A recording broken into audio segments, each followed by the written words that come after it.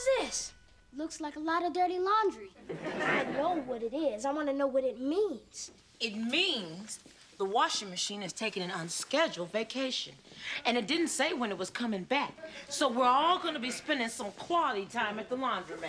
Oh, see, I knew it. Soon as I walked in the door, I caught a bad vibe off those bags. And a bad smell, too. Why don't we just buy a new washing machine? Because I have very little cash and even less credit. And if I write one more check, you're gonna find me on the side of some road wearing an orange vest, poking trash with a stick. Okay, Ma, I'm in. But not right away because I have a lawn to cut every afternoon this week. And I gotta keep working at the market and cutting hair to pay the bills. And I have choir practice after school the next three days. Oh, and I've got my associates down at the rec center. Please, please don't do this to me. It's not a life sentence, Jerome. You just get the honor of going first. Now we all gonna have to pitch in until Uncle Charles fixes the washing machine. Fix it again. Man, that thing's dead.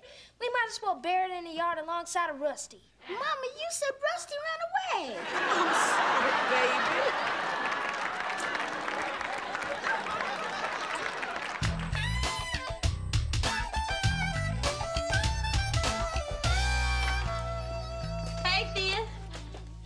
Sis. Hey, Charles. What's up?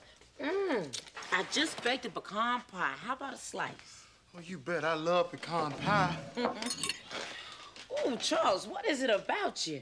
Has he been working out, girl? I don't know. Have you, baby? No, but I do try to squeeze in a couple of push-ups every morning.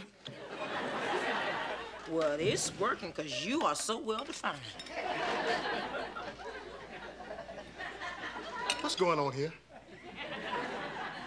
I get a compliment from you about as often as I get an invitation to join a country club. Now, Charles, that's not true. Now, just the other day, I was telling somebody about all your good qualities. I said, my brother-in-law, he's so handsome, so sensitive, and a mechanical genius. I got it. Something's busted, right?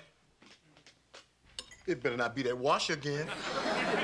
Come on, baby. Cut Thea some slack. She's broken. She can't live without a washing machine. You know my policy about doing repairs after work. Every day when Mr. Sun goes down, so does a lid on Mr. Toolbox.